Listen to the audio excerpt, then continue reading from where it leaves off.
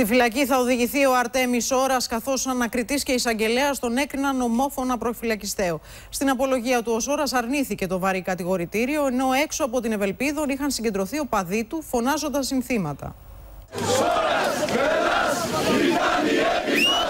Ο Αρτέμις Ωρα, μετά την απόφαση της προφυλάκησής του, φυγαδεύεται πεζός μέσα από το πάρκο της πρώην σχολής Ευελπίδων.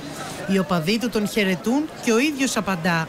Όλα στα χέρια σας τώρα. Ο ιδρυτής των Ελλήνων Συνέλευσης είναι αγνώριστος. Έχει μουσια και μακριά μαλλιά, για να μην αναγνωρίζεται από τις αρχές, καθώς ήταν φυγόδικος επί 16 μήνες.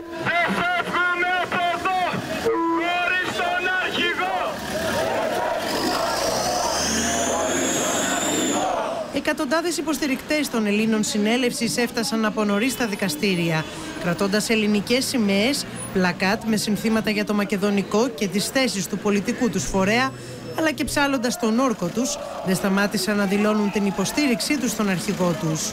Ο Αρτέμις Ώρας είναι ο μηχανισμός, ο μεγάλος Έλληνας, που γύρω από αυτόν έχουν συσπηρωθεί όλες οι ελληνικές ψυχές για να φέρουμε αυτό που τόσα χρόνια περιμένει η πατρίδα μας, την απελευθέρωσή της. Αυτό που συμβαίνει εδώ είναι πολιτική δίωξη ενάντια σε όλο το έθνος των Ελλήνων. Σύμφωνα με πληροφορίες, ο Αρτέμις Ώρας αρνήθηκε όλες τις κατηγορίες, χαρακτηρίζοντάς τες έολες και προανήγγειλε ότι μέσα στις επόμενες ημέρες θα υποβάλει έτοιμα στο Συμβούλιο Πλημελιωδικών για άρση της προσωρινής του κράτησης.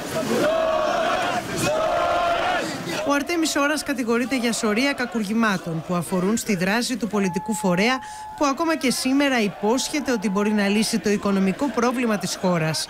Οι κατηγορίες που τον βαρύνουν τον φέρνουν αντιμέτωπο με την ποινή της ισόβιας κάθερξης.